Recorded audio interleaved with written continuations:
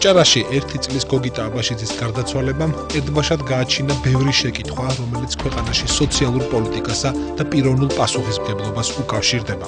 70000-ზე მეტი ბავშვის მძიმე საცხოვრებელ პირობებსა და მდგომარეობას არასამთავრობო საერთაშორისო ორგანიზაციები და სახალხო დამცველის ოფისი აქამდეც არაერთხელ შეახსენებდა ხელისუფლებას და საზოგადოებას, თუმცა ადრესატებმა ყურადღება მხოლოდ კატასტროფის შემდეგ დაძაბეს. დღეს დიალოგში გვინდა ვიმსჯელოთ, ვინ არ შეასრულა თავისი ვალდებულება. რა ხარვეზები აქვს სახელმწიფო პოლიტიკას? რა პასუხისმგებლობა აკისრია კონკრეტულ ადამიანებს საიმისოდ, რომ ბავშვებს ამ ქვეყანაში თუ საერთოდ არა, გაცილებით იშვიათად მოერიოს შიმშილით გამოწვეული უცდურება და სიკვდილი. სოციალური მომსახურების სააგენტოს დირექტორი ნოე კინკლაძე, ამავე სააგენტოს მეურვეობისა და მზრუნველობის სამმართველოს უფროსი ეთერ ცხაკაია. ქალთა და ბავშვთა უფლებების ცენტრის ხელმძღვანელი სახალხო დამცველის ოფისში ანა არგანაშვილი და გაეროს ბავშვთა ფონდის UNICEF-ის წარმომადგენელი მაია ქურციკიძე პირველი არხის სტუდიაში.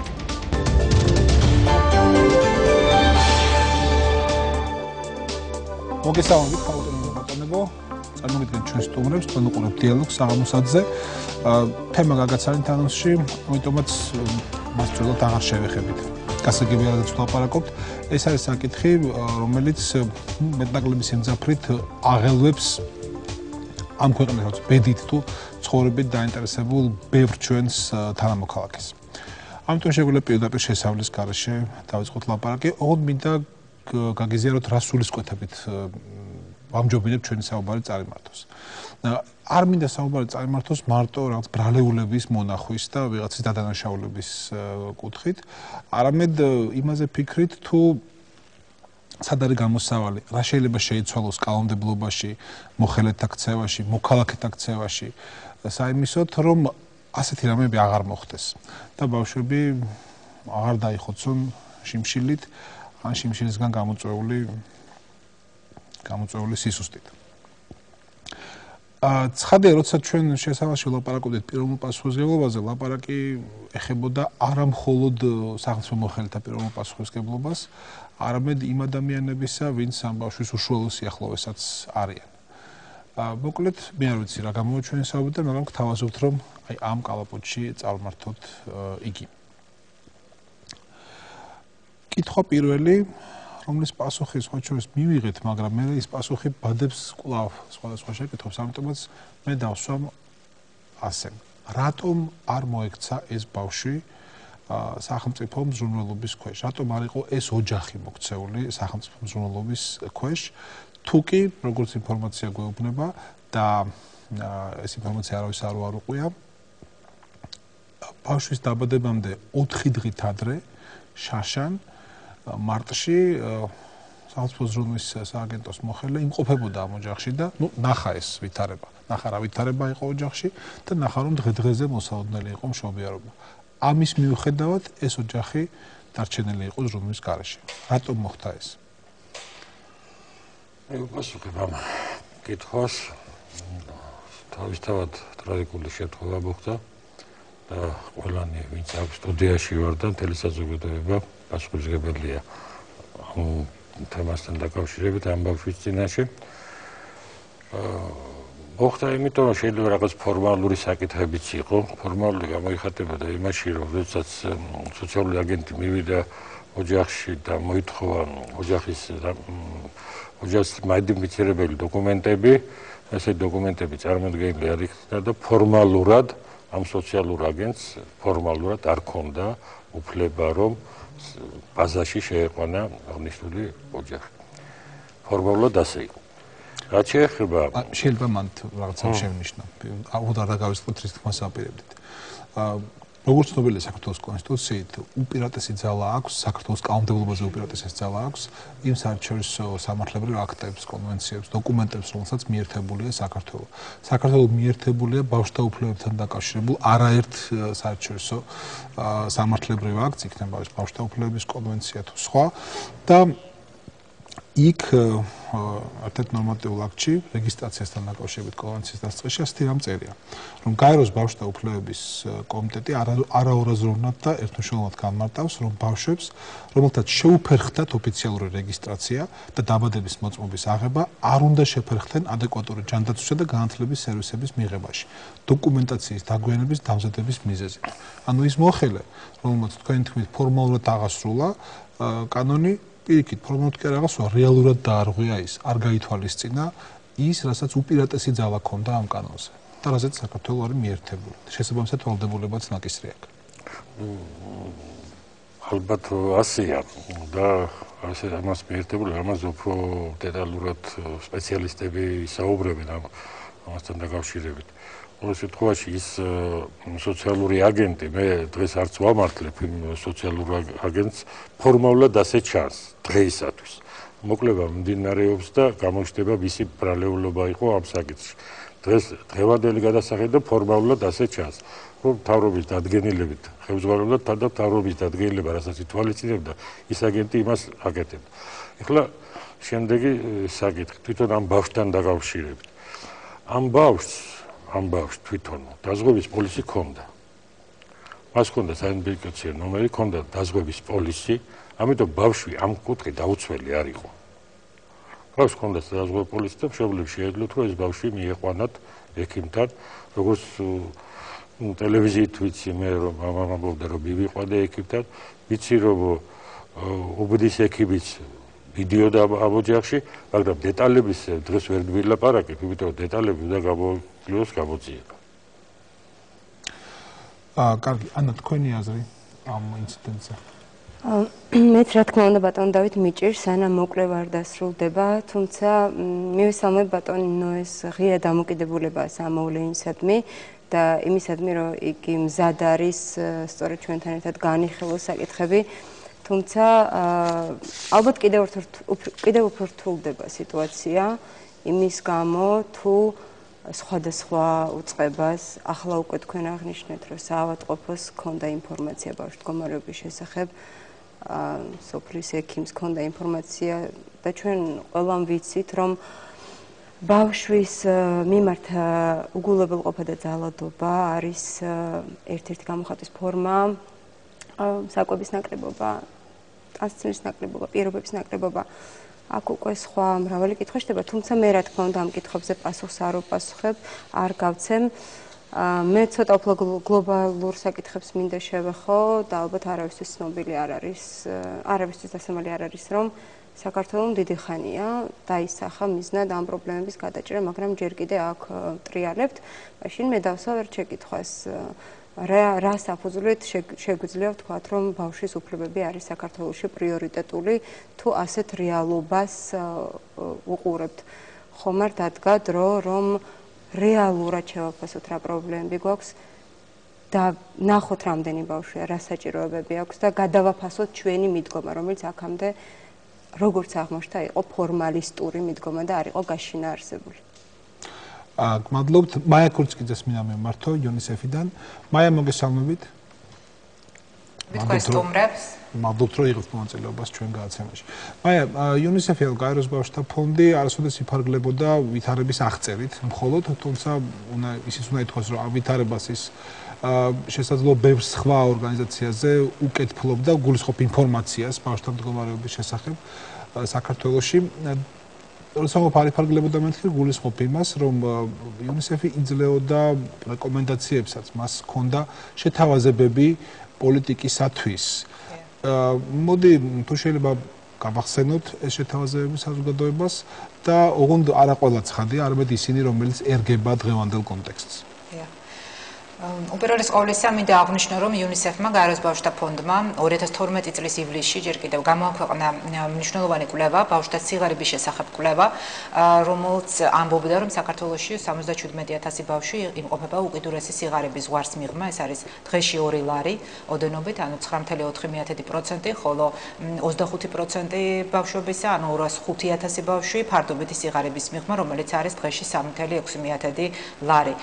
ჩვენ გამოკვლევებით ასევე გამოიკვეთა ის გარემოება, რომ ბავშვიანი ოჯახები საქართველოში არიან უფრო ღარიბნი, ვიდრე ის ოჯახები, რომელთაც არ აყავთ ბავშვები. ანუ ეს იმას ნიშნავს, რომ არსებული სოციალური დაცვის მექანიზმები სათანადოდ ვერ ითვალისწინებს ბავშვების საჭიროებებს და მათ ინტერესებს. და ამიტომაც აუცილებელი არის არსებული სოციალური დაცვის მექანიზმების გაძლიერება, რათა და დამატებითი ინვესტიციები ამ პროგრამებში, რათა მათ უფრო უკეთ გაითვალისწინონ ბავშვის საჭიროებები და მათი ინტერესები. ჩვენ არა მარტო მოვიკვლიეთ არსებული სიტუაცია, არამედ გავაკეთეთ კონკრეტული რეკომენდაციები შევთავაზეთ მთავრობას, ანუ გამოვითვალეთ თუ რა დენად შეამცირებდა ესა თუ ის ვარიანტი, ანუ ალტერნატივა ბავშვთა სიღარიბეს. მაგალითად, შევისწავლეთ მიზნობრივი სოციალური დახმარებების გაზრდის შემთხვევაში რამდენად შემცირდებოდა სიღარიბე, ან ბავშვთა საყოველთაო შეღავათის შემთხვევაში რა მოხდებოდა, ან თუნდაც იმ შემთხვევაში თუ გაიზრდებოდა ბენეფიციართა რაოდენობა სოციალური მოხმარების დახმარების. და ჩვენი გამოთვლებით და ამას უწევთ დღეს რეკომენდაციას, თუ სახელმწიფო შემოიღებს ბავშვთა საყოველთაო შეღავათს, ანუ დღეში თვეში უკაცრავად 30 ლარს ბავშვზე, ანუ სახელმწიფოს ეს დაუჯდება 25000 ლარი, სიღარიბე საქართველოში საგრძნობლად შემცირდება 9.4%-დან შემცირდება 3.19%-მდე. ანუ ჩვენი გათვლებით, სწორედ ბავშვთა საყოველთაო შემწეობის, საყოველთაო შეღავათის შემოღება იქნება ყველაზე უფრო ეფექტიანი გზა სიგარებესთან საბრძოლველად. თუმცა ეს რასაკვირველია, ძალიან კომპლექსური პრობლემა არის და სიგარები ერთ-ერთი გამსაზღვრელი ფაქტორი იყო საბრალო ბავშვის გოგიტას გარდაცვალების შემთხვევაში, ისევე როგორც ბევრი სხვა ბავშვის და ოჯახების გართულებული მდგომარეობის შემთხვევაში, თუმცა ეს არ არის ერთადერთი ფაქტორი, იქ იკვეთებოდა კვების მწვავე დეფიციტის პრობლემა და დღესდღეობით ესეც ძალიან მნიშვნელოვანი პრობლემა არის, რამდენადაც 9 მილიონი ქალი და ბავშვი საქართველოში განიცდის კვების ამა თუ იმ დეფიციტს და აქ იგულისხმება არა მარტო საკვების ნაკლებობა, აქ იგულისხმება ვიტამინებისა და მიკროელემენტების გაჯერებული საკვების და დანამატების არარსებობა და უქონლობა, რაც იწვევს სერიოზულ გართულებებს ორსულობისას და დაბადებისას სერიოზულ პრობლემებს ბავშვთა ჯანმრთელობაში. და ხშირად საციკლო შედეგამდეც მივყავთ, სწორედ 3 წელიწადში ჩვენი გამოთვლებით 300 ბავშვი იღუპება მცირეწონიანობის, ორსულთა ანემიის და ფოლიუმის მჟავის თუ სხვა მიკროელემენტების ნაკლებობით გამოწვეულ გართულებებთან გართულებების გამო. ასევე ძალიან მნიშვნელოვანი საკითხი არის დედათა და ბავშვთა ჯანდაცვის უწყვეტი მომსახურების უზრუნველყოფა. ეს იმას ნიშნავს, რომ სახელმწიფო ანუ სისტემა უნდა ხედავდეს და აკონტროლებდეს ბავშვს მისი განვითარების ყველა ეტაპზე. დაწყებული ქალთა კონსულტაციებიდან, როდესაც დედა მიდის ექიმთან ვიზიტზე, მას უნდა მიეწოდებოდეს ინფორმაცია, უნდა ხდებოდეს მისი მუდმივი კონსულტირება და ინფორმირება ბავშვზე მოვლის საკითხებთან დაკავშირებით, როგორ უნდა იყოს ორსულობა, რა, ასე ვთქვათ, და ვიტამინები უნდა მიიღოს მან ორსულობისას, რომ ნორმალურად გამithარდეს. შემდგომ ეს ინფორმაცია უნდა გადაეცემოდეს სამშობიაროს და აქაც უნდა მუდმივი კონტროლი ხდებოდეს. რასაკვირველია, რომ მშობიარობა იყოს ნორმალური და ბავშვის სიცოცხლეს საფრთხე არ დაემუქროს და შემდგომ ეს ინფორმაცია გადადიოდეს პირველადი ჯანდაცვის რგოლში. ასე რომ მთელი ესე იგი სისტემა სისტემა უნდა აკონტროლებდეს ბავშვს და მის ჯანმრთელობას, დედებისა და ბავშვების ჯანმრთელობას მთელი ბავშვის სასიცოცხლო ციკლის განმავლობაში. ხშირად აი ეს კოორდინაცია არის დარღვეული და ჯაჭვი აი სხვადასხვა უწყებებს შორის არის გაწყვეტილი, რის შედეგადაც ხშირად სისტემა ვერ ხედავს ბავშვს და სწორედ ამ სხვადასხვა რგოლ შორის ბავშვი იკარგება და ხშირად ამას სწორედ აი ესეთ სამწუხარო ტრაგიკულ შედეგებამდე მივყავართ. სწორედ ამიტომაც აუცილებელი არის ყველა დონეზე ბავშვის განვითარების უზრუნველყოფილი იყოს დედათა და ბავშვთა ჯანდაცვის მომსახურების უზრუნველყოფა, უწყვეტობა. ა მადლობთ მაია, ხალხუნეთა თქვენ ძანდებით მეურვეობისა და მზრუნველობის სამართლოს ხელმძღვანელი, ანუ თქვენ დამრწმუნებულ უწყებას უშუალოდ ავალია ყველაფერი მის განხორციელება, რაზეც ჩვენ ვაპარაკობთ ხელმძღვანელ გადაცემაში და არის ხარვეზების დანახვაც თქვენ და მესმის ხელმძღვანელი შეიძლება სულ არ იყოს დაინტერესებული ამ ხარვესთან წარმოჩენით, მაგრამ ნუ ამაში ალბათ შეიძლება დაგეხმაროთ ჩვენი გადაცემის სხვა სტუმრები. ა მინდა გითხოთ სად ხედავთ სახელმწიფოს ვთქვათ ასე არასრულფასოვანი პოლიტიკის მიზეზებს ეს არის ვთქვათ ფინანსების ნაკლებობა ფული არ ყოფნეს სამსახურს. ეს არის ვთქვათ ბიუროკრატიული ჯაჭვის რაღაცნაირი აუწყობლობა როგორც ეს კალტონო კუციკიძემ აღნიშნა. ეს არის თვითონ კანონის არასრულყოფილება რომელიც შეიძლება არ გაძლევდეს გასახანს რომ უკეთ შეასრულოს შენი ფუნქცია და უკეთ მოემსახურო მოქალაქეებს თუ შეიძლება ეს იყოს თქო თქვენი ხელფოეთების ნაკლები გულისხმიერება და ნაკლები ყურადღება იმ საქმის მიმართ, რასაც ემსახურებიან. უკაცრავად პასუხები გიკარნახეთ, მაგრამ უთ ვარიანტები დავინახე და შეიძლება რაღაცა სხვაც იყოს. და ხშირ შემთხვევაში ეს ვარიანტები კომპლექსური სახით არის წარმოქმნილი, მაგრამ მინდა აღვნიშნო, რომ ძალიან მნიშვნელოვანია მომართვიანობა. აა მეურვეობის და მზრუნველობის ტერიტორიულ ორგანოში თუ არ შემოვიდა მომართვა, შეუძლებელია ფიზიკურად მოიწიო ყველა ის ბავშვი, რომელიც შეიძლება არ იყოს სახარბიელო მდგომარეობაში, თუნდაც თავის ბიოლოგიურ ოჯახში. მომართვა ნებისმიერმა ადამიანმა შეიძლება გააკეთოს, როგორც სახელმწიფო სექტორის წარმომადგენლებმა, ასევე არასამთავრობო სექტორის წარმომადგენლებმა, ნებისმიერმა მოქალაქემ. და მომართვა ხშირად შეიძლება ანონიმურ ხასიათსაც ატარებდეს, მაგრამ ჩვენ მაგისოდ არაფერი არ იქნება? ის რომ თქვა თქვენმა რომელიმე თანამშრომელმა შენიშნოს შეჭრებული ოჯახი დადასტურებით იცოდეს რომ ისინი საჭიროებენ სახელმწიფო მშრომლობას და დახმარებას. მას არ შეუძლიათ თვითონ აღძრას პროცესი? შეუძლია რა თქმა უნდა თვითონაც აღძრას პროცესში მაგრამ ძირითადად მომართ მომართვის წყარო უნდა არსებობს თუ ეს შეამჩნია თანამშრომელმა რა თქმა უნდა ის ვალდებულია რეაგირება გააკეთოს როგორც არა მარტო თანამშრომელმა, როგორც მოქალაქემ და როგორც პიროვნებამ. ამას არ აქვს მნიშვნელობა რა პოზიციიდან აღწერას, მაგრამ ხშირ შემთხვევაში შეიძლება ვერ შეამჩნიოს და აი ასეთ შემთხვევაში ის ჯაჭვი ირღვევა და შეიძლება მომართვის, იმიტომ რომ არ არსებობდა მომართვა ეს ბავშვი ასე ვთქვათ, ჩვენი ხედულობის არიდან გაიბრძოს. თუ მომართვა არის, მოქალაქის ინფორმირება რომ მას შეუძლია მომართვა, ვისევალება. მესმის ეს გვევალება ჩვენ ჟურნალისტებსაც ხო მაგრამ შეიძლება იმ სოფლამდესაც ეს ბავშვი ცხოვრობდა ვის ვისაც ახლა ჩვენ ვეხებით თლავდელ გააცემაში ну შეიძლება არ უყურებდნენ ტელევიზორს მედია ისე არადიოდეს მაგრამ სამაგიეროდ ну წელიწადში ერთხელ მაინც როგორც გამოჩნდა შაშან ამ ბავშვის დაბადებამდე 4 დღით ადრე ავიდა სოციალური მომსახურების აგენტოს თანამშრომელი ამას რატო ვიხსენებ ერთხელ უკვე ვთქვით იმიტომ რომ ფრაგმენტული კადრებიც კი რაც ჩვენ მოქალაქეებმა ნახეს ტელევიზიით ამ ოჯახის ყოფის შესახებ ძალიან ცხადად გელაპარაკება მათ მდგომარეობაზე და არა მარტო მატერიალურ მდგომარეობაზე ხო? შეიძლება შეჭირვებისაგან ადამიანს უბრალოდ ფიქრიც კი შეზღუდული ქონდეს და ვერ ხვდებოდეს იმას რომ სახელმწიფო შეიძლება მას მოემსახუროს. ამიტომაც ვამბობ ამიტომაც გეკითხებით რომ თუ არ შეეძლო თქვათ აგენტოს სამშობლოს კიდევ ერთხელ ასულიყო იმ ბავშვის დაბადების შემდეგ უკვე და ენახა რა ვითარება იყო ამ ოჯახში. ხო ეს ბავშვი აღმოჩნდა რომ ერთი წლის მანძილზე ასაკი ემატებოდა მაგრამ სხვა არაფერი არ ემატებოდა. მას არ მომატებია როგორც გავიგეთ. ასე რომ მომართვას თუ ელოდეთ? შეიძლება ეს მომართვა არ იყოს და მსხვერპლი კი იყოს. მესმის თქვენასაც ამბობთ მაგრამ ძალიან რთულია საქართველოს აი მთელი მასშტაბით მუძიება ასეთი ბავშვების აუ აი ამ შემთხვევაში, ამ კონკრეტულ შემთხვევაში მე შემიძლია გითხრათ, რომ ეს ბავშვი ერთხელ იწვა სავანტოფოში, მას პირადი ნომერი აქვს, იმიტომ რომ დაბადებულია იმ პერიოდში, როცა უკვე პირადი ნომერი ავტომატურად ენიჭებოდა მათ. შესაბამისად, მას ჰქონდა დაზღვევა და ერთხელ უკვე ამ დაზღვევით ისარგებლა. ძალიან სასურველი იყო, რომ შესაძაც ეს ბავშვი სავანტოფოში იტარებდა მკურნალობის კურსს, შეტყობინება მოსულიყო სააგენტომდე. ასევე, როდესაც უბნის ექიმი აკითხავდა მას და თავის დახმარებასაც დავაზობდა და ასე თუ ისე აკონტროლებდა ბავშვის მდგომარეობას, არც ექიმიდან არ შემოსულა შეტყობინება. არსებობს ეს ვალდებულება აქვს? ეს ვალდებულება აქვს. ექიმის ვალდებულება მოგეწონა? ექიმის ვალდებულება, მე მოგახსენებთ, აქ ადგილი ქონდა როგორც მინიმუმ ეკონომიკურ ძალადობას, იმიტომ რომ ბავშვი და შეიძლება უგულებელ ყოფასაც გარკვეულწილად, როგორც თქვენ აღნიშნეთ, შეიძლება მშობელი რაღაც თავის ძიმე მდგომარეობიდან გამომდინარე მე ხლა წინასწარ დასკვნებს არ გავაკეთებ რა თქმა უნდა შესწავლის შედეგები რომ რომ დამთავრდება შესწავლა და საბოლოო შედეგი და დასკვნა დაიდება მაგრამ შეიძლება და ეს მომენტები ყოფილიყო თუნდაც იმიტომ რომ ძალიან უჭირდა ოჯახს ეკონომიკური სიტუხჭირე იყო ამ ოჯახში და ამ შემთხვევაში რეფერირების პროცედურებია სამ მინისტრის მიერ ხელმოწერილი ბრძანება. ეს არის ჯანდაცვის მინისტრის საქართველოს განათლებისა და მეცნიერების მინისტრისა და შინაგან საქმეთა მინისტრის.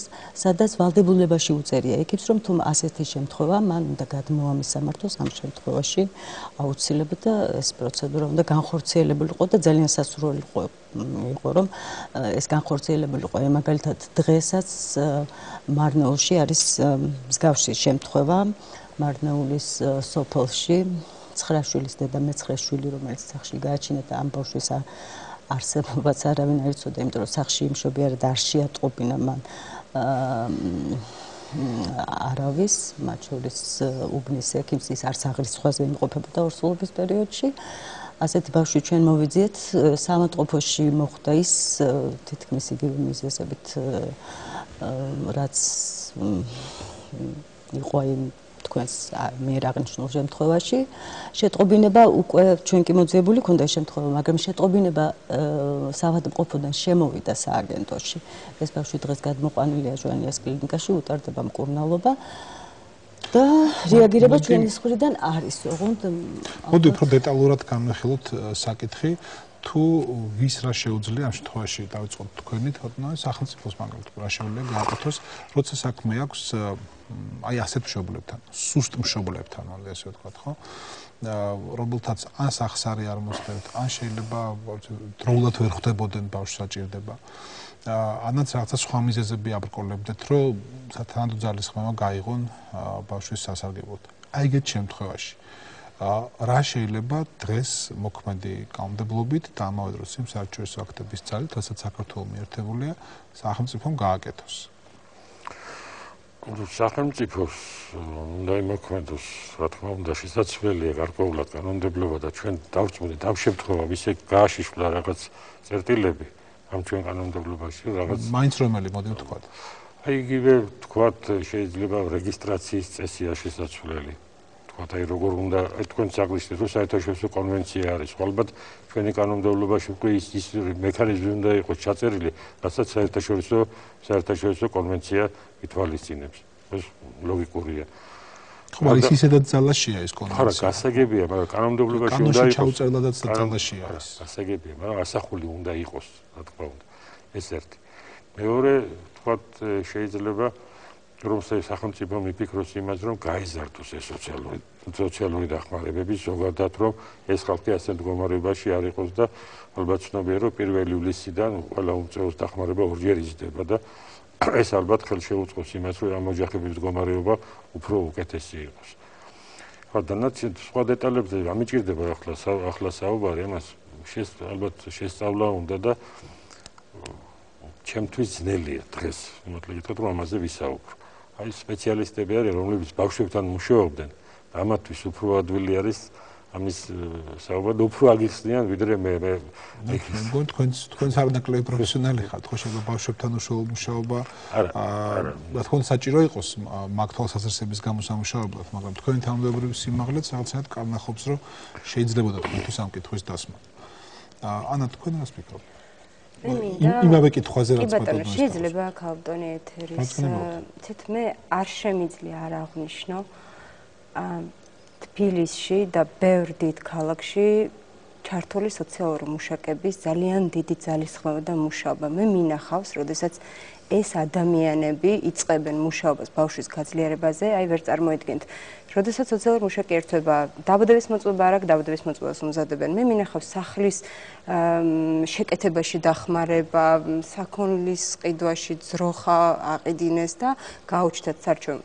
მაგრამ მეორეს როდესაც თქვენსავე დაუსო კითხვა რა ხდებოდა მაღალმთიან აჭერაში, აი ესე რაღაცა ძალიან გულახდილად მიპასუხეს, მათ არ ქონდათ ტრანსპორტი, რომ ასულიყვნენ მაღალმთიან აჭარაში და არ ქონდათ საწვავის თანხა. აი მოდით თქვა ყველაფერი დიახ. გულახდილად უნდა ვთქვათ, რომ მე ვიცი, როდესაც ეს პროფესიონალი ადამიანები აკეთებენ თავიანთ საქმეს, აკეთებენ 10-იანზე, მაგრამ თუ მათ არ ექნებათ რესურსი, თუ მათ არ მივცემთ საშუალებას, თუ მათი რიცხობრივი რაოდენობა იქნება, აი ერთი სოციალური მუშაკი ახლა მუშაობს ალბათ 200 შემთხვევაზე, ხო? ეს არის სრულიად არაადამიანური შრომა. ამიტომ მოდით შევხედოთ გლობალურად ამ საკითხს. სახელმწიფო თუ აცნობიერებს რეალურად რა ჭირდება ამ ბავშვებს და თუ გამოყოფს იმ რესურსს, რაც არის საჭირო. რატომ არ უყავს ჩვენს რეგიონებში ფსიქოლოგი? ფსიქოლოგი არ ჭირდებათ ბავშვებს, რა თქმა უნდა, ჭირდებათ, ხო?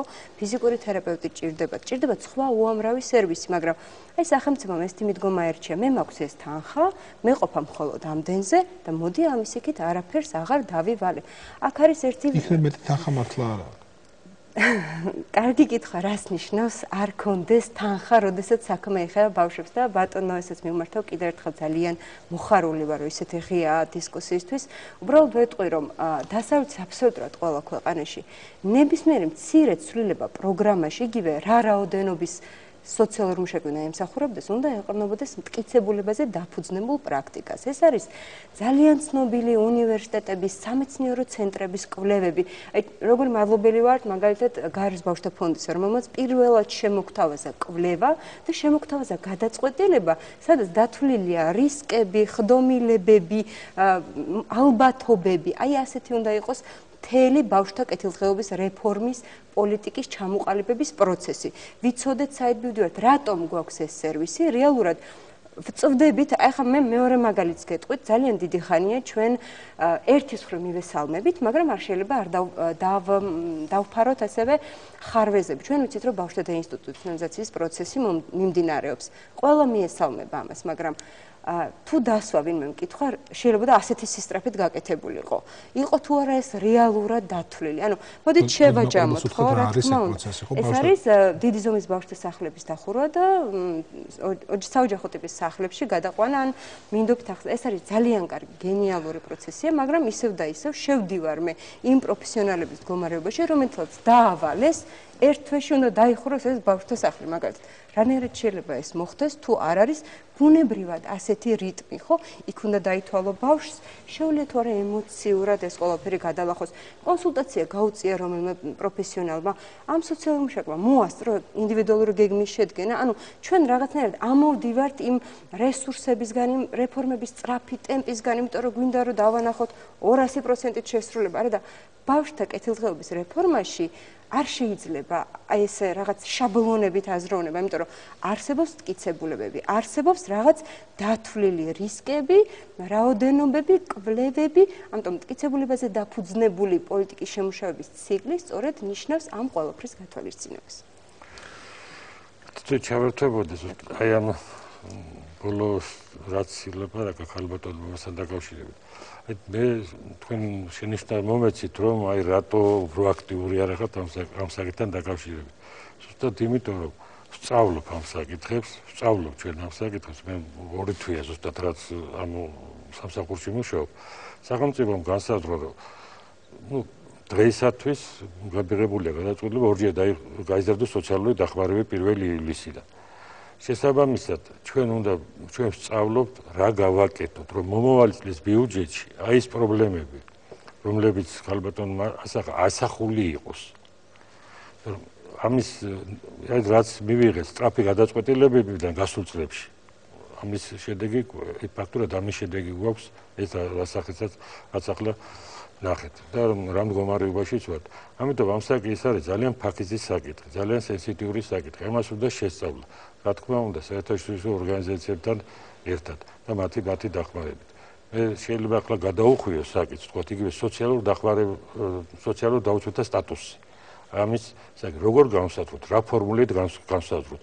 ქვეყანაში შეიცვალა სიტუაცია. შეიცვალა სიტუაცია მე არ გულისხმობ ბოლო პერიოდს პოლიტიკურ სიტუაციას არ გულისხმობ. ზოგადად ეკონომიკური სიტუაცია შეიცვალა ქვეყანაში 2005 წლიდან, როდესაც ძირითადი ფორმულა ფორმულა მეიღეს. ამის შემდეგ არსებითი გადასინჯვა ამ ფორმულის არ მოხდა. ამიტომ ჩვენ უნდა შევისწავლოთ ესა და როგორ შეიცვალა, რა შეიცვალა მაშინ? მათთვის რა შეიცვალა, ვისაც პირველად დავანგარიშეს ამ ფორმულით, სიღატაკის ხარს მიღმა თუ ამ სულისგან სოციალურ არა ქვეყანაში შეიცვალა სიტუაცია ეკონომიკურ სიტუაციაზე გეუბნებით რომ თქვა იგივე ბიუჯეტი გაიზარდა რამოდენ რამოდენიმეჯერ სოციალური სოციალური დახმარების მიმღებთა რაოდენობა რაოდენობა ფაქტურად ერდაიმევე ერდაიმევე დონეზე ან ან ცოტათი ცოტათი ცოტათი იზრდება ამ და ამ დროს ბევრი პარამეტრია, ბევრი პარამეტრი მოქმედებს ფორმულაში. ეკონომიკური მდგომარეობა ზოგადად ქვეყანაში, იგივე ქვეყნის თქვათ სხვა მახასიათებლები თქვათ იგივე მინიმალური ხელფასის საკითხია იცვლება რომელმაც გავლენა უნდა იქონიოს სხვადასხვა სხვადასხვა მაჩვენებლებს ეს დასამუშავებელია და შესაძლებელია ამიტომ თუ არ შევისწავლეთ ესა მივიღებთ ისევ იგივე შედეგს, რა შედეგებიც გვაქვს. ამიტომ ჩვენ თავრობას განსაზღვრული აქვს, რომ აი ამ ეტაპზე პირველად ასეთი გადაწყვეტილება მიიღო, რომ ну რაღაც რო მოეგვარებია საკითხი ორჯერ გაიზარდოს პირველი ლუისიდან ეს დახმარება და პარალელურად დამუშავდეს ახალი ახალი სისტემა რომელიც სრულად ასახავს იმ რეალობებს რა რეალობაც ქვეყანაში მოდი თქვა ამ კონკრეტულ შემთხვევაში ხო რა გამოსავალი შეიძლება არსებობდეს ხო ჩვენ გვაქვს ასე ფრაგმენტულად მოპოვებული მასალა სადაც მშობლები ამბობენ რომ ну მათ უნდათ დასაქმება ასევე მომისმინეთ ბატონი მამულაძის ის გახლავთ სოციალური ხელოჩაურის განყოფილების უფროსი სოციალური მოსახურების სააგენტოსი. ის ციტატას წავიკითხავ. მისი ინფორმაციით აბაშცების ხუთსულიანი ოჯახი სოციალური დახმარების მიზნით სახელმწიფოს 2007 წლიდან მიმართავს თუმცა დაუცველთა ბაზაში ვერ მოხვდა აჰა. მოკლედ შეიძლება თუ არა რომ ეს საკითხი დადგა მე ნახე ხო პოულო საჭირო ციტატას მაგრამ შინასი მახსოვს და ციტირების იზუსტე იქით იყოს. აა როგორი გვაქვს ამ საკითხზე გადაწყვეტის? ის ბავშვები რომლებიც დარჩნენ ამ ოჯახში და ცნობილია რომ ოჯახს უჭირს და ვერ უზრუნველყოფს ბავშვთან მათ ჯეროვან ყვებას და ჯანმრთელობის მდგომარეობას. შეიძლება რომ ისინი დროებით მაინც ჩამოაცილონ მშობლებს ამის გამო ამას ეს ვისი გადასაწყვეტია. ამას ხო თქვენ წყვეტ ჩვენ არ მეურვეობის სამსახურ ალბათ ენერგიას ვიღებთ ამას ეხლა მიმდინარეობს შესწავლა სოციალური მუშაკების შეფასება ეს არ არის მოკლე ანკეტა საკმაოდ დიდი ნამუშევარი ეს ნაშრომით არის შეიძლება ითქვას. 25 დღის განმავლობაში მიმდინარეობს ეს შეფასება და ძალიან დეტალებში ჩადიან და ამ შეფასების შედეგად გამოიკვეთება ბავშვების საჭიროებები. და მინდა გითხრათ სახელმწიფოს პრიორიტეტი და ერთ-ერთი უმთავრესი მიზანია მაქსიმალურად ბავშვის ბიოლოგიურ ოჯახში შენარჩუნება და ოჯახის გაძლიერება. თუ აქვს ამ ოჯახის რესურსი, შანსი იმისი, რომ გაძლიერდეს, ჩვენ პირველ რიგში ცალსახად ვიმუშავებთ ამ ოჯახის გაძლიერებაზე. თუ შეიძლება უფრო კონკრეტულად ამ შემთხვევაში რას ნიშნავს დანახვა იმისა, რომ ოჯახს აქვს რესურსი და შანსი გაძლიერების. იცით რა არის სოციალური მუშაკი მუშაობის პროცესში ამას ადგენს და რესურსი უნდა კონდეს ოჯახს. თუნდაც დასაქმების სურვილი, თუნდაც ამბავშვის მამა მუშაობდა, როგორც რა ინფორმაციაც გვაქვს, ყოველში იმის მიხედვით მუშაობდა, მაგრამ ეს მუშაობა როგორც ჩანს არ უზრუნველყოფდა ასე არ შემოსავლის იმ დონეს და არ შეიძლება ნაკლები შემოსავალი აქვს სხვა ოჯახებს, მაგრამ ისინი რაღაცა უფრო დაგეგმილად ახორციელებენ ამ თანხის ხარჯვას, ბავშვზე ზრუნვას და ასე შემდეგ. მე ხა წინასწარ ძალიან მიჭირს დასკვნების გაკეთება, უბრალოდ ჩვენს ხედვას გეტყვით პირველ რიგში ჩვენ მეცდებით, რომ ბიოლოგიურ ოჯახში შემარჩუნდეს ბავშვი. ი გარდა იმ შემთხვევისა, თუ არის იქ რისკები იმის, რომ ბავშვის სიცოცხლეს და ჯანმრთელობას შეექმნას საფრთხე. სამწუხაროდ ჩვენ საზოგადოებაში არსებობენ მშობლები, რომლებსაც უნარი არ აქვთ ბავშვების მოვლის. ესეც ერთ-ერთი მიზეზი არის აი ამ შემთხვევაში რა შეიძლება რომ ინტელექტუალური დახმარება შეაშველო შეიძლება იცით რა არის გაქვთ ამის გამოცდილება? გვაქვს ჩვენ ამის გამოცდილება იქ ალბათ ანამ რომ ახსენა როდესაც ჩვენ დეინსტიტუციონალიზაციის პროცესს ვახორციელებთ და დღემდე გრძელდება ეს დეინსტიტუციონალიზაციის პროცესი ეს ნამდვილად არ მოხდა ერთთვის განმავლობაში და საკმაოდ ღრმა შესწავლის საფუძველზე და თუ ბიოლოგიურ ოჯახს ჭირდება და ჩვენ ბევრი ბავშვი დავაბრუნეთ ბიოლოგიურ ოჯახში ანუ რეინტეგრაციის პროცესს განვახორციელეთ და ამ ოჯახებზე ვიმუშავეთ მერწმუნეთ. გაცილებით გაჭირებული ოჯახები არსებობენ და ისინი ბავშვებს არაბარებენ ბავშვთა სახლში. ამ ოჯახებს ჰქონდათ გარკვეული პრობლემა, არა მარტო ეკონომიკური, არამედ აი ეს ინტელექტუალური რესურსის და ჩვენ ხშირ შემთხვევაში ვახმარდით მათ. ფსიქოლოგსაც და ამ ხრივაც ვცდილობდით ფსიქოლოგები ყავს არასამთავრობო ორგანიზაციები არა არა არა ჩვენ ყავს საბჭოს ფსიქოლოგები რომლებიც უკვე შტატიან თანამშრომლებია რომლებიც რეგიონში ერთია მართალია მინიმალური რესურსი მაგრამ მინდა გითხრათ რომ ნებისმიერ ანუ იცავ სჭირდება კვირაში 5 სეანსი საშუალოდ როდესაც მე ვარ ფსიქოლოგი პროფესიით მე უბრალოდ თქვენს პოზიციას ვიცავ ხო ძალიან მიხარია მე მესმის. გაგაძლიერონ ეს არ არის საკმარის მე მგონი თქვენ კონდეთ საშუალება კარგად აკეთოთ თქვენი საქმე, იმიტომ რომ თქვენ აკეთებთ კარგად, როდესაც გაქვთ რესურსი. კი, ნამდვილად. ეს მინიმალურია, მაგრამ ყოველ შემთხვევაში ჩვენ ნებისმიერ საკითხს, როცა ჩვენ გვიჭირს, თუნდაც ეს სახელმწიფო პროგრამების ფარგლებში ვეჩდებით, ჩვენ ძალიან მჭიდრო კავშირი გვაქვს და მემორანდუმების ფარგლებში თანამშრომლობთ არასამთავრობო ორგანიზაციებთან და ისინი ხშირად თავიანთ რესურსს გვახმარენ, მაგრამ როგორც ქალბატონი ანა აღნიშნავს, რა თქმა უნდა, ძალიან ბევრი ბავშვია თავისი ფსიქოლოგიური პრობლემები და მით უმეტეს მათი ოჯახები საჭიროებენ ამ ფსიქოლოგიურ დახმარებას, რესურსი მცირეა როგორც ფსიქოლოგის, ასევე სოციალური მუშაკის. კარგი, მაია ქურცკიძეს მინდა მადლობთ. ჩვენ აქამდე ვლაპარაკობდით, მიმართავ მაია ქურცკიძეს UNICEF-დან. ჩვენ აქამდე მაინც ვლაპარაკობდით უფრო სახელმწიფო სამსახურების როლზე, გაკვრით არასამთავრობო ორგანიზაციების და მომეჩვენა რომ აი ჰადაჰა შევეხეთ უკვე მშობლების პასუხისმგებლობის საკითხსაც. მაია იმ ინფორმაციიდან, რასაც რაც თქვენ იცით ამ საქმიდან, ამ საქმეზე, გოგიტაბაშტის საქმეზე. თქვენი აზრით, რა ტიპის პასუხისმგებლობა იკვეთება მშობლის? მე შეგნებულად არ ვიყენებ სიტყვას ბრალს, არ მინდა ამ სიტყვის გამოყენება. უბრალოდ თქვენ დაკვირვებით რაიმე ვალდებულება აა ვალდებულება რომელიც შოფელს აკისრია შვილის წინაშე შესრულდა თუ არა მთლიანად ამ შემთხვევაში. დააკლეს თუ არა ამ ბავშვს რაიმე მისმა მშობლებმა? დიახ დიახ, რასაკვირველია, შობლის პასუხისგებლობა ძალიან მნიშვნელოვანია და შობლს ძალიან დიდი პასუხისგებლობა აკისრია ბავშვის ზრუ ბავშვის ზრუნვაში, მის მოვლაში და მის აღზრდაში. ამას არავინ არ უარყოფს, რასაკვირველია, თუმცა საქართველოში არიან ოჯახები და მშობლები, რომლებიც ვერ უზრუნველყოფენ ამგვარ ნორმალურ ზრუნვას ბავშვზე და სწორედ აქ ერევა სახელმწიფო. თუ სახელმწიფო თulis რომ ოჯახის გაძლიერება არის საჭირო, ანუ ოჯახს შეუძლია თვითონ იზრუნოს ბავშვზე, მაგრამ ეკონომიკური მდგომარეობის გამო გამო ან სხვა რაიმე მიზეზების გამო იგი ვერ ახერხებს დროებით მას, მაშინ სახელმწიფო ერევა ეხმარება ოჯახს, აძლიერებს ოჯახს, რათა ოჯახმა თვითონ იზრუნოს ბავშვი. რამდენადაც როგორც ქალბატონმა ეთერმა აღნიშნა, ძალიან მნიშვნელოვანია, რომ ბავშვი შენარჩუნდეს საკუთარ ბიოლოგიურ ოჯახში და ბავშვი არ განცალკევდეს საკუთარი ოჯახისაგან, თუ ამისი აუცილებლობა არ არსებობს. ხოლო თუ რასაკვირველია შესწავლის შედეგად გამოიკვეთა და სოციალური მუშაკების როლი აქ ძალიან დიდია, თუ სოციალური მუშაკების შესწავლის შედეგად გამოიკვეთა, რომ ბავშვის ყოფნა ოჯახში არის საშიში მისი ჯანმრთელობისათვის, მისი განვითარებისათვის, ნორმალური განვითარებისათვის, მაშინ რასაკვირველია უნდა დადგეს ოჯახის პასუხისგებლობის საკითხი, მაგრამ ცალსახად ახლა ამ შემთხვევაში თქმა იმისი, რომ ოჯახის პასუხისგებლობის საკითხი უნდა დადგეს და ბავშვი უნდა ჩამოერთვას მშობლებს, რასაკვირველია ამ ეტაპზე ძალიან რთულია, იმიტომ რომ საკითხი არ არის ჯერ კიდე შესწავლილი და შესწავლის პროცესია. თავარი პრიორიტეტი ენიჭება ბავშვის შენარჩუნებას საკუთარ ოჯახში, ბიოლოგიურ ოჯახში, რამდენადაც მთელი ეს რეფორმა რომელიც მიმდინარეობს ბავშვის ზრუნვის სისტემის რეფორმა, მისი პრიორიტეტი სწორედ ბავშვის ოჯახებში დაბრუნება არის და ოჯახში შენარჩუნება, მაგრამ რასაკვირველია, მშობლებს ძალიან დიდი პასუხისგებლობა აკისრია და სწორედ ერთ-ერთი მოვალეობა სახელმწიფოსიც არის ის, რომ მშობლს მიაწოდოს ინფორმაცია ბავშვის ზრუნვის და ბავშვის მოვლის საკითხებთან დაკავშირებით. და მე როდესაც ვახსენე სწორედ აი ეს უწყვეტობა სახელმწიფო სამსახურების და მუდმივად ბავშვზე კონტროლი, აქ იგულისხმებოდა ის, რომ ბავშვის ჩასახვიდან, ანუ ორსულობის პერიოდშიც მშობელს ორსულ დედას უნდა მიეწოდებოდეს ინფორმაცია იმის შესახებ თუ როგორ უნდა იზრუნოს მან ბავშვზე საკუთარ თავზეც და შემდგომ ბავშვზე.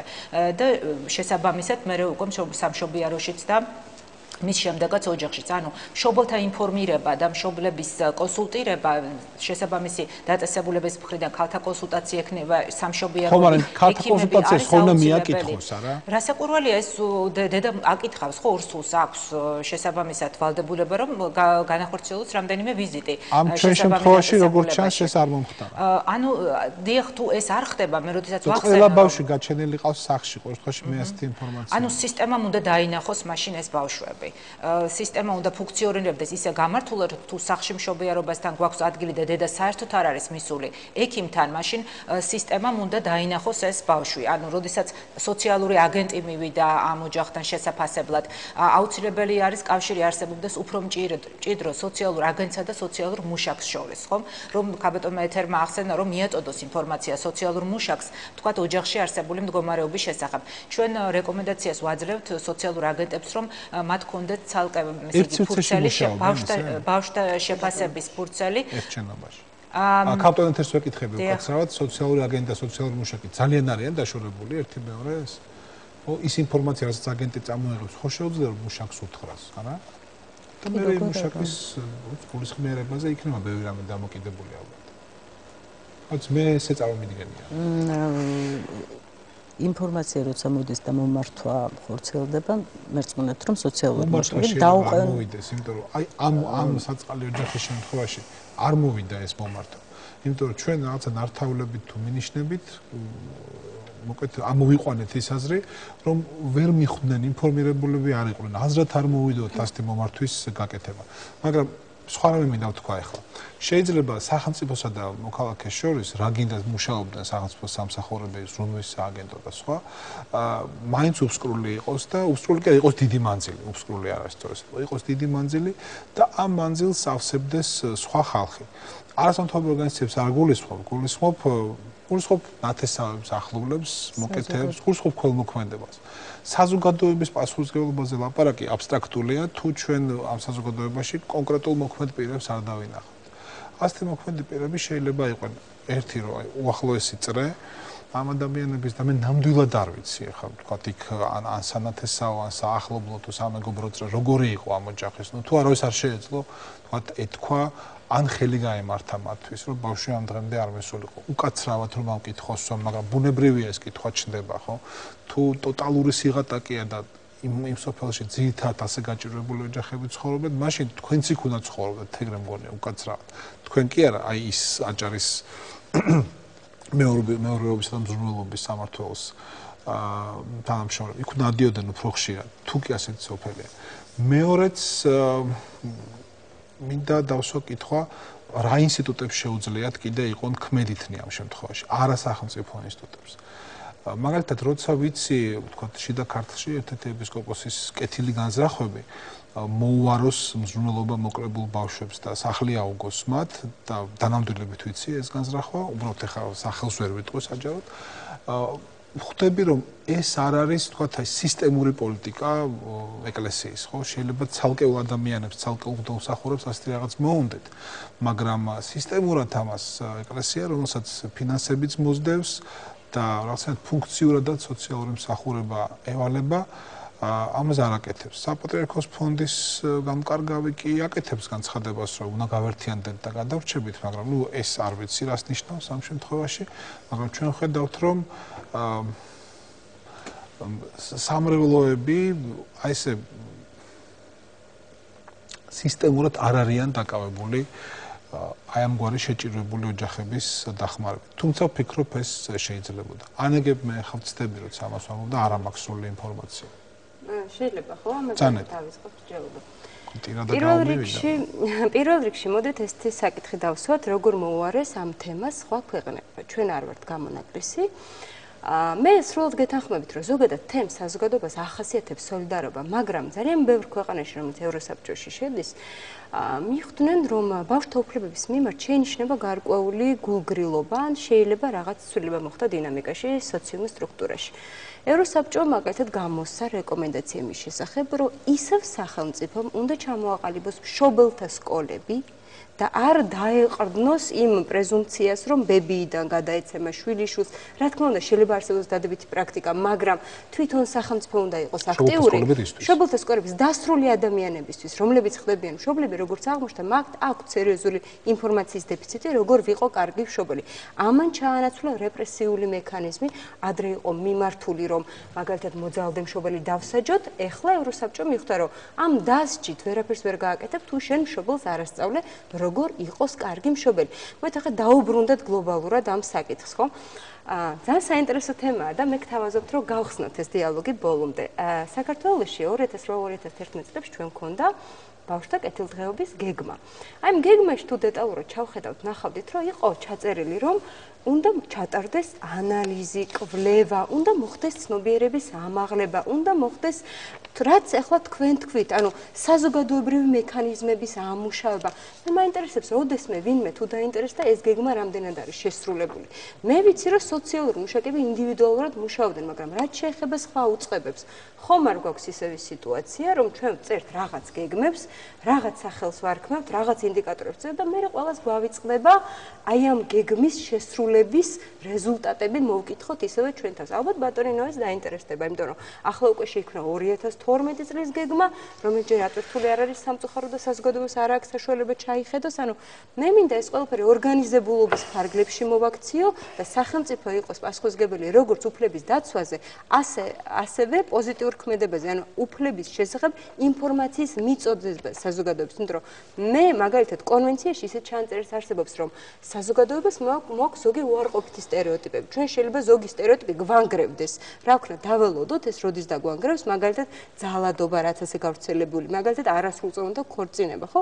ესეც ხომ იმის საზოგადოების პროდუქტია, ამიტომ სახელმწიფო აქტიურად უნდა თანამშრომლობდეს იგივე საზოგადოებასთან.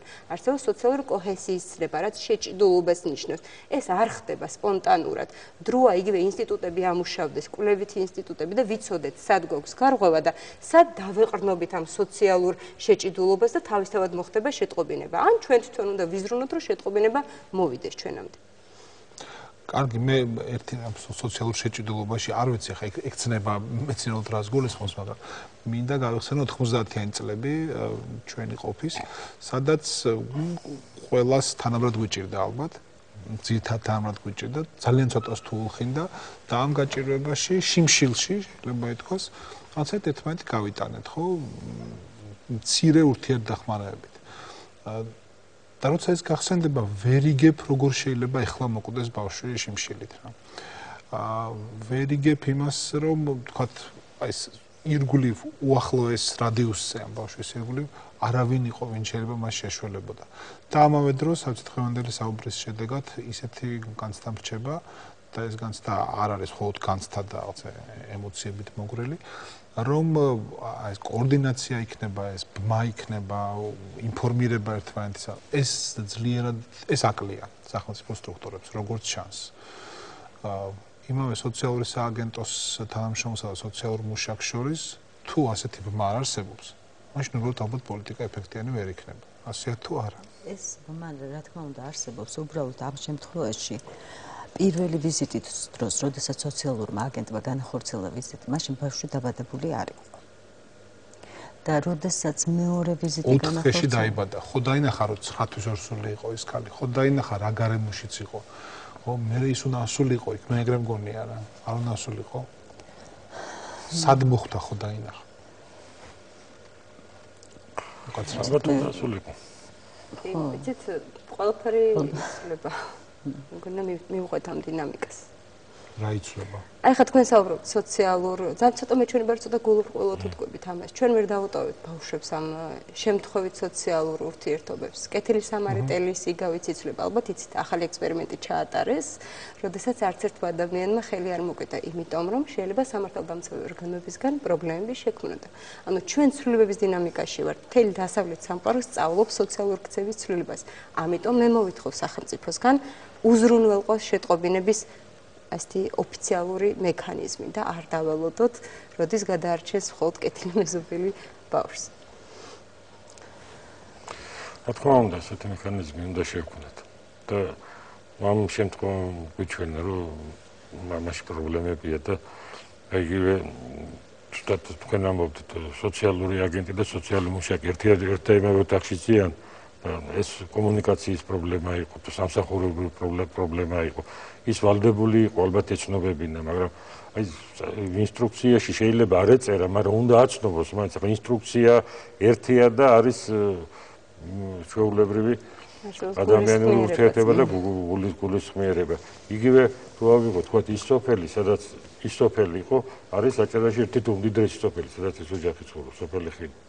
მაგაც ის თუ ხელბაჩაურის, რა, ყველაზე მდიდარი რაიონია აჭარაში. ერთ-ერთი უმდიდრესი ოჯახია. ხო, იმ სოფელში ეს პრობლემა რატომ მოხდა? ჩემთვისაც რა წარმოუდგენელი? ერთ-ერთი უმდიდრესი სოფელია ჭერაში ამისა გაანალიზებთ შეიძლება. ამ ეტაპზე რატომ მოხდა? ამაზე იმიტომ რომ კლევის პროცესში არის რაღაც ინფორმაციები რომ ეს დახმარება იყო უბრალოდ ამ ეტაპზე, ახლა ნამდვილად და სხვა დროს თუ შევხვდებით, ალბათ როცა დამთავრდება ეს ცოტა უხალხო. და კულე კულევა მიხავს ვის? მიხავს ძალოვან სტრუქტურებს? ჩვენი შეგამო ჩვენ ჩვენ რა თქმა უნდა, ჩვენ სწავლობთ. და იქ მეზობლების გამოკითხვა ხდება ექიმის და ყველა დეტალში შედა. ჯადათვის ამით რო ჩართულია სამედიცინო კუთხით, რა თქმა უნდა, ყველა ეტაპზე ჩვენი სამსახური სწავლობს თვითონ აი ჩვენი სოციაგენტი ზუსტად აი ამ თემას სოციაგენტის და სოციალური მუშაკის ურთიერთობა რა მოხდა და აი მე იყო ხო არ იყო ამაში დარღვევა ჩვენი შეგამოკლა და რა თქმა უნდა ძალოვანი სტრუქტურების სწავლობენ აქვს. გაცემის დასასრულს მინდა ბაიას მიმართო ესე კურცკიძეს არა დასკვნილ გასაკეთებლად ანუ თუ მეაჩნია რომ რაიმე სათქმელი დარჩა ჩვენი საუბრის ბოლო ნაწილიდან გამომდინარე ან გაპასუხება უნდა გთხოვთ. დიახ, აი დღეს აქ მსჯელობა იყო საზოგადოების დამოკიდებულებაზე და მე მინდა ამის შესახებ თქვა ორი და სიტყვა. ძალიან მნიშვნელოვანია რასაკვირველი რომ საზოგადოება უფრო აქტიურად იყოს ჩართული იგივე ინფორმირებაში შესაბამისი უწყებების თუ მათ გვერდით ისინი ხედავენ რომ არის ბავშვის მიმართ ძალადობა ან ბავშვი სიკვდილის პირას არის შიმშილის გამო. რასაკვირველია სახელმწიფოს თავისი წილი პასუხისგებლობა აქვს ამას არავინ არ უყურს ჩვენ ამის შესახებ უკვე ვიმშელეთ, მაგრამ ასევე დიდი პასუხისგებლობა აკისრია სახელმწიფოს საზოგადოებას. და ჩვენ ძალიან საინტერესო კვლევა ჩავატარეთ. ბავშვთა მიმართ ძალადობის შესახებ ეს კვლევა მოგვიანებით გამოქვეყნდება მაგრამ ამ ეტაპზე მე შემიძლია ვთქვა ერთი. რომ გამოკითხულთა უმრავლესობა მიიჩნევს რომ თუ მათ გვერდით ოჯახში მეზობლად ხდება ბავშვთა მიმართ ძალადობა ან თუნდაც ხედავს რომ გარკვეული პრობლემებია რომელიც საფრთხეს უქმნის ბავშვის ჯანმრთელობას და მის განვითარებას ის ამბობს რომ ეს ჩემი საქმე არ არის და მე სხვის ოჯახში სხვის საქმეში ვერ ჩავერევი. აი ესეთი დამოკიდებულება. ფიქრობ ძალიან ცუდია და ის უნდა შეიცვალოს. რამდენადაც ბავშვის სიცოცხლე ეს ყველა ჩვენთაგანის პასუხისგებლობა იზრუნოს და არ დაუშვას ის რომ თქვათ კიდევ ერთი გოგი ტაბაშიძე დაიღუპოს. ჩვენ დღეს მსჯელობთ სისტემის ხარვეზებზე ბიუროკრატიაზე და ასე შემდეგ თუ რა იყო გამომწვევი ამ ტრაგედიის მაგრამ ტრაგედია მოხდა. ბავშვი დაიღუპა და ამას უკვე არაფერი არ ეშველება. და ჩვენ ახლა ყველაფერი უნდა გავაკეთოთ იმისათვის რომ თავიდან ავიცილოთ მომავალი ასეთი შემთხვევები.